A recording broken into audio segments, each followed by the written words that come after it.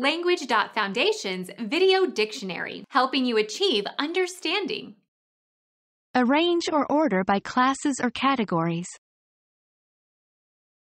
How would you classify these pottery shards? Are they prehistoric? Assort. Class, separate, sort, sort out. Assign to a class or kind. Relegate. Declare unavailable, as for security reasons.